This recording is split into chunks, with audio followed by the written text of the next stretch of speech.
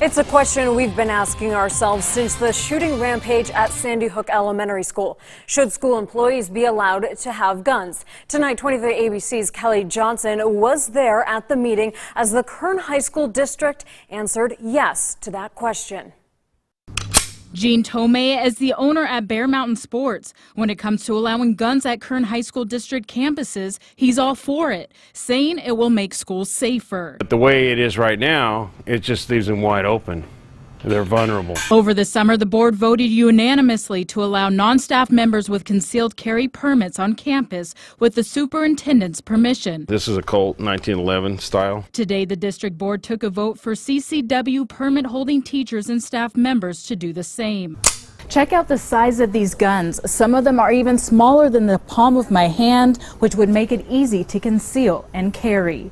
The Dolores Huerta Foundation led the protest outside the district boardroom just minutes before the school board meeting.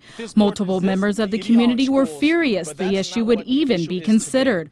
One said he's concerned that even those with the best training would act differently in certain circumstances. When crisis set in, people act differently. Opponents were also angry that such an important issue would be voted on during school and work hours when most principals, teachers, and others impacted would be unable to express their concerns to the board. People can't get off work.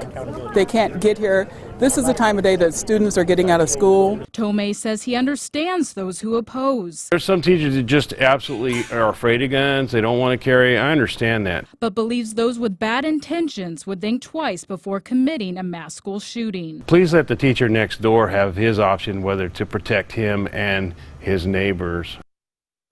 That was